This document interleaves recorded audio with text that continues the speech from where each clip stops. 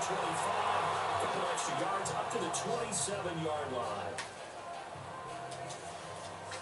The Patriot offense now set to come back out onto the field.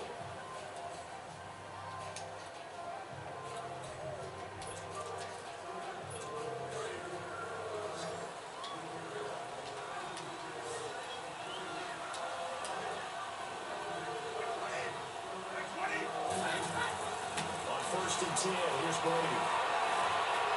Throw left side, complete to Hogan. And down he goes, but he takes it up to the 40. Back-to-back nice plays, 12 yards that time and a first down. Fourth quarter, every drive so critical, and you figure they only get one more shot after this, so a touchdown's imperative on this drive. It is, but you also have to think to yourself in play calling, don't hold anything back. Don't save it for the second touchdown. You got the first one for the second one to even matter. Now flags come in. Look like one of the Patriots might have moved. False start, offense. And that'll be accepted, of course, and that moves him back five. Still first down. The false start backs him up five. First and 15.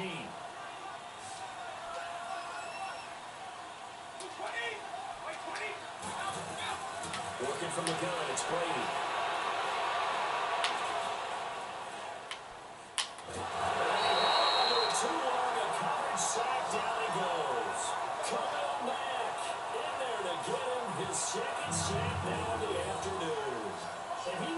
Five seconds there with the football. Is there a time that a quarterback has to get rid of it? Somewhere generally around three seconds. So just like we're playing in our turkey ball right in our backyards, one Mississippi, two Mississippi, three Mississippi, that ball better be gone because anything past that, that's usually the end result.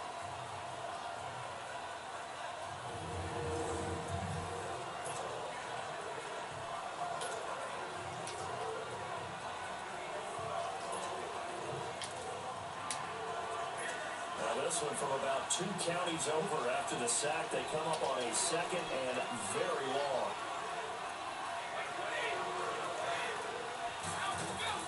Shotgun now for Brady.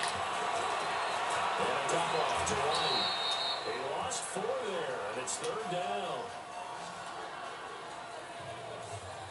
For negative yardage, obviously no good. Maybe he shouldn't have thrown it, or maybe he shouldn't have caught it. And I think we were seeing it at the same time, weren't we? Maybe you let that one go, right? Because you can see the lost yardage about to develop. But that goes against every instinct of a receiver. They're taught to catch everything. So it's really hard to be mad at him and yell at him for trying to make that play. And he's got his man out of the. It's complete. So he got three and one tackle. He couldn't do a whole lot else. Gain of four on the play, and that's going to bring up the fourth down. Time for a break. We'll come back to wrap this one up after this.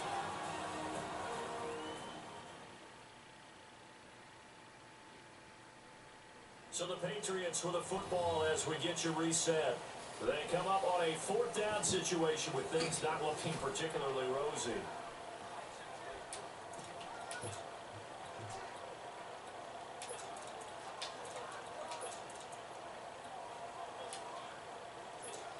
Indeed going to go for it here on fourth down.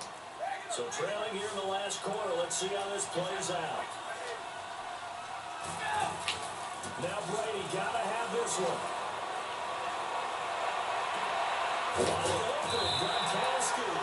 But going to him up as he'll go down well short of a first.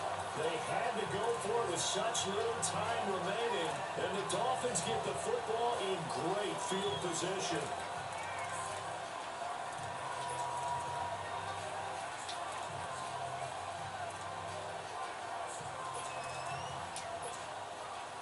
Scrimmage, the 37 on first and 10.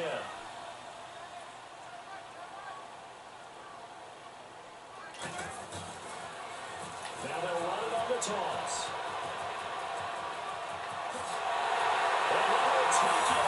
For Dolphins touchdown. Todd Gurley, 37 yards. And the Dolphins add on to their lead. A nice run by the blocking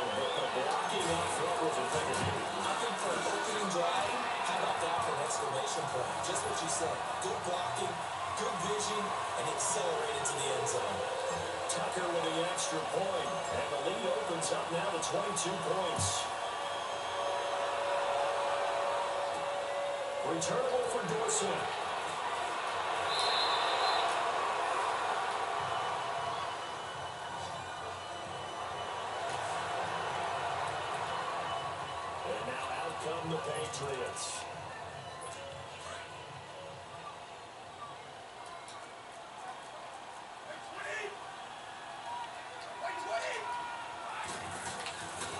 First down, Brady. Toward the right sideline, but it's incomplete. Jordan Matthews, the one he was looking for. And it's second down. And that right there, his first incompletion of the game, pretty remarkable. So let's start talking about all-time records because with that incompletion, maybe over a two-game season. The Dolphins rush gets home, down he goes. Some extra time to talk about this third and long play as we'll get a timeout. As they'll get it with just over 90 seconds to go in the ball game. Throwing it on third and long. Brady. Now a desperation throw. Deep. He's got it. Complete. And they're going to get this beyond the 40 before he's taken down. That one goes for 29 yards on third down.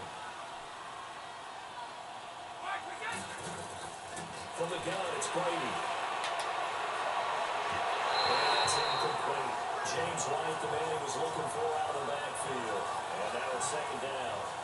Well, not to get too overcritical there because he knows what he's doing, but his shoulders looked a little off kilter there when he threw that. I think you're being overly critical there. He's just analyzing it, and he gets those shoulders right. That pass will go from incomplete to complete.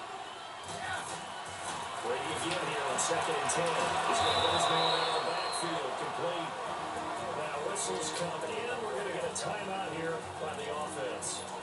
As they get the stoppage with just over a minute to go in the game. This defense tightening up a bit. That last catch just one yard. Maybe a third and nine.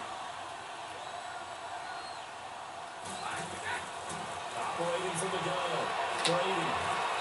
He's got an open man. It's Gronkowski. Brady to Gronkowski for the Patriot first down. Now you got to hustle your guys to the line and get them set. And they'll indeed get him the line and spike it here to stop the clock.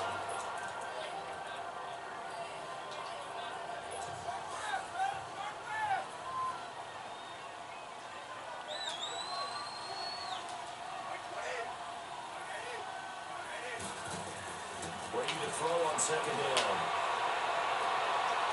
And his throw is going to be incomplete. It looked like maybe his third or his fourth read on his progression. Just trying to find his outlet man that time. Ends up leading him just a bit too much.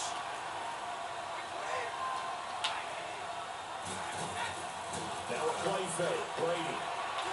He's going to let it fly. That's going to be knocked away and incomplete. Oh, Patrick Peterson, the shutdown corner, was there on the coverage. Certainly looked like they were getting it away, and brings up a fourth down decision. Not good at all. Punted just 24 yards there. And it'll be Dolphin football. The Dolphins offense now ready to go back out on the field. They have the dream scenario you hope for coming into the game. Just one kneel here, and this game should be over. And it's always the final play of preparation each week. The practicing of the kneel down formation, the victory formation. We've got a game in hand, and that's all they're going to want to do now. They put someone back deep just in case something goes haywire.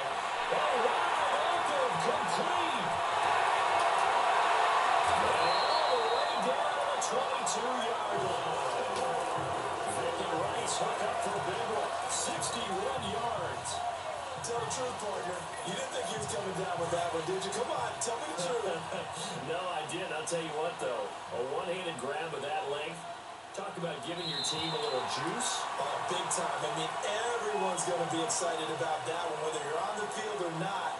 It permeates its way through the entire team, and I can't wait to see what they do on the next down.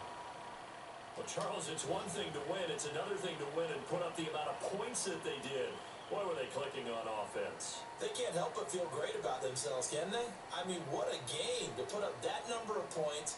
continually feel like they're moving the ball and things are working and clicking, they think that they can bottle this and carry it with them. And as an offensive coordinator, you just don't think you can do anything wrong. Whatever you call, run, pass, it's all going to work. That's called being in the zone.